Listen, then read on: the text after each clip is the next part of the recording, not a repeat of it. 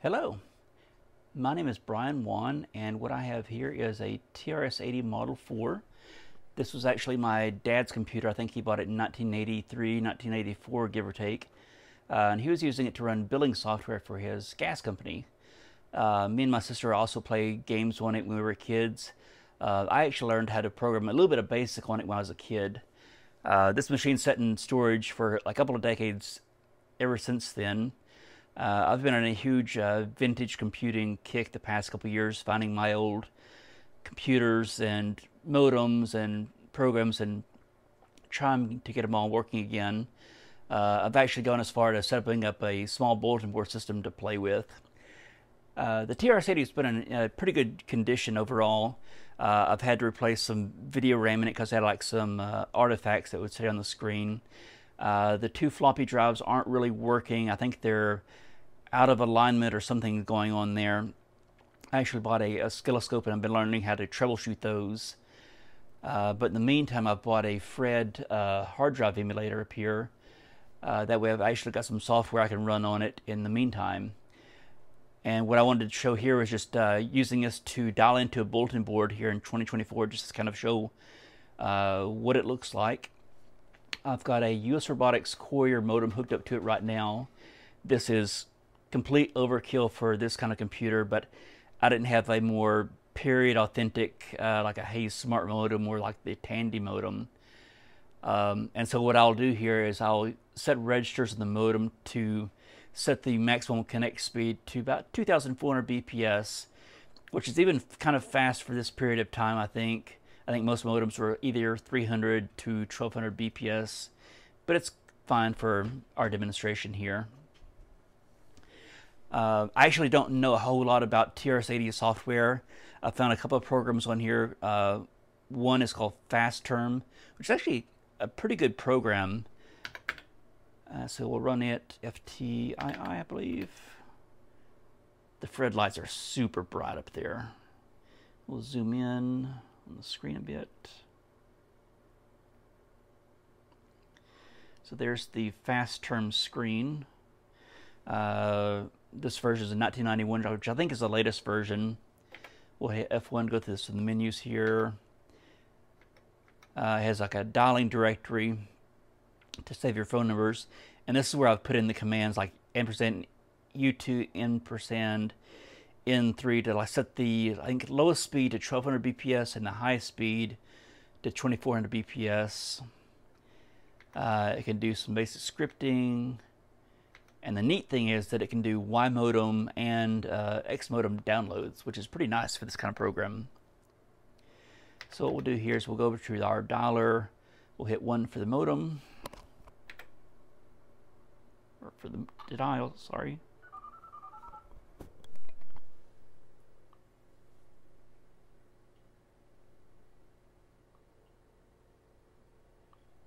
Ringing.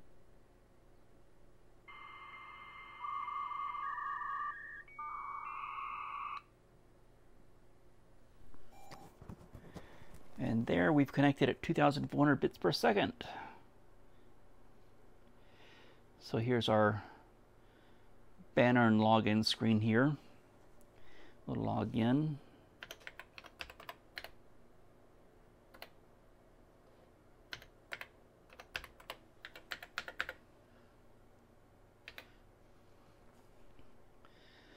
Obviously this doesn't support color, nor does it support the IBM code page uh, graphics that you might see on a PC. I know the TRS does support some like uh, character graphics. Uh, I just don't know offhand like what how I need to construct my menu files and whatnot to like get to, to render better on here. So what I've had to do is I've actually like changed some of the, the, the bulletin board screens to only display ANSI only so it kind of looks better on this system. So here we have like my poor ASCII cat here. And we'll skip the bulletins. And here we just have the plain uh, text main menu here. And we'll go to the file menu and try to download a file. And so we'll list a file, list the files. I think area 14 is my vintage stuff.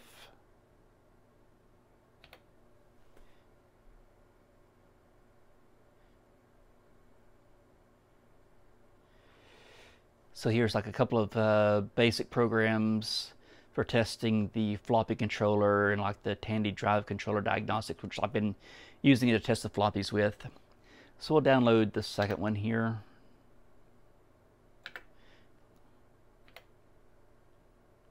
It's about 4K in size, so this should take about a minute or two to download. Automatically log off, yeah. I was trying this earlier with the Y modem. It wasn't quite working right, so we'll just try use it with the Z modem. Please begin your Z modem download now. Hit F1. Go over to transfer to receive file. And because it's X modem, you have to give the destination file name. And also, uh, the original file has, has the extension .bas, which is for a DOS extension. So I need to change this for a uh, LDOS extension. So we'll say fdc II2 slash BAS. And it's going to ask to override it because we already downloaded it earlier for testing. So we'll say yes. And it's downloading. One cute thing is that it'll if a block doesn't pass CRC checks, it gives a sound on the speaker, which is kind of nice, like like that.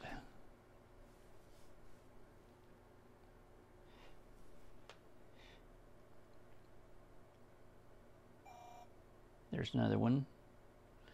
So we're halfway through the file download.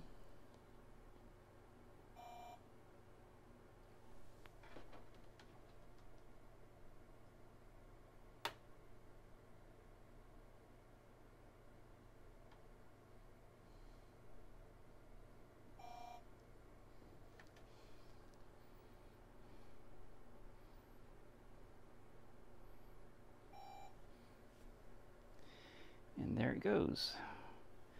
Downloaded a whole 85 characters per second. And we'll go ahead and hang up here.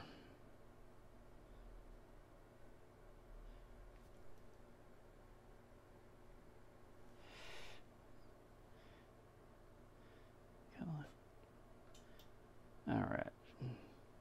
We'll break out, go back to LS-DOS, press enter, run basic.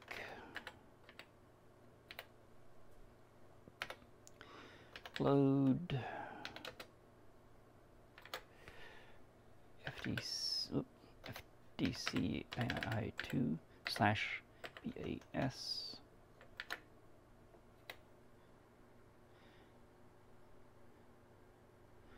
And therefore it's blinking, blinking, blinking.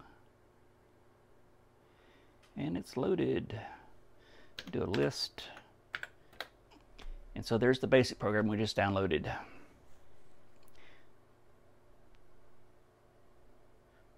From an IBM computing a computer running DOS no less.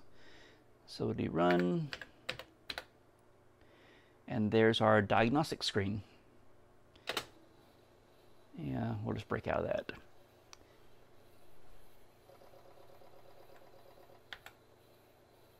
Back to system.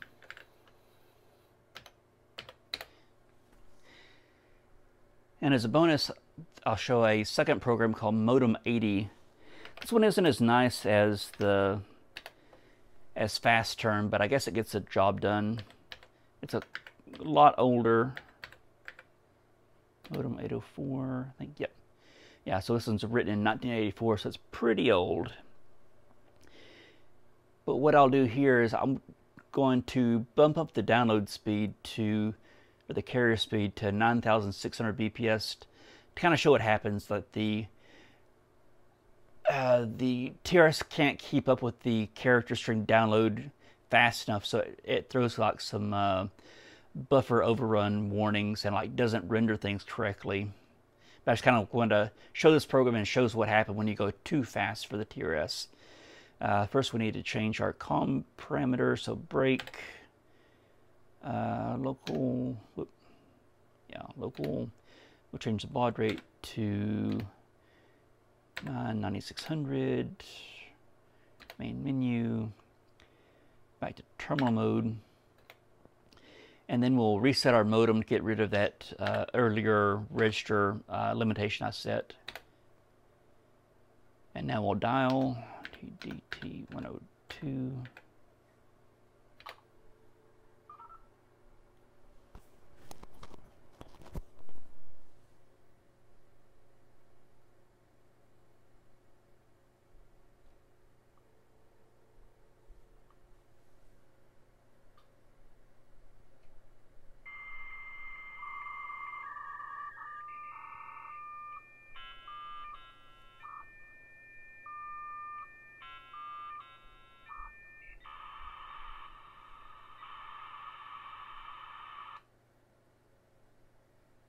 Had a bit of a stutter, but connected at 9600.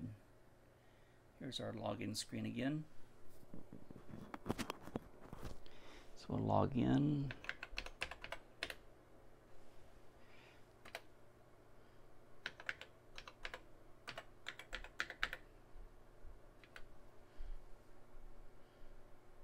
Yeah, here's where it has problems. It's throwing this input buffer overflow that it's more is coming off the serial port than the TRS-80 can pull off of it, so it's just kind of like can't keep up and kind of jankies up the screen a bit. Uh, we'll skip the bulletin menu.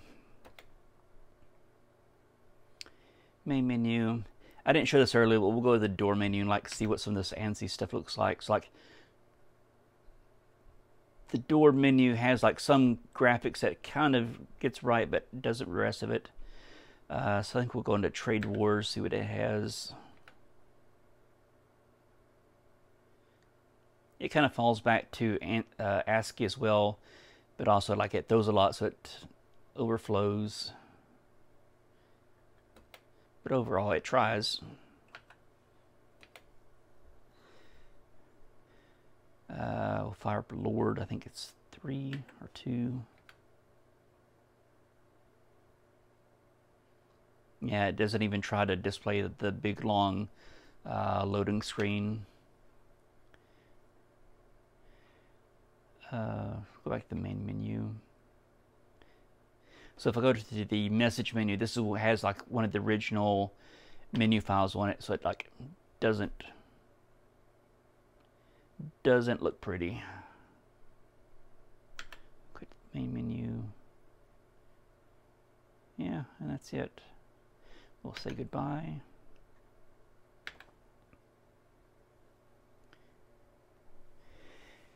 And that's it. I hope this was entertaining and educational. I hope to get the floppy drives working on this someday so I can do another video but I actually like doing more with it. But here we go. Thanks for watching.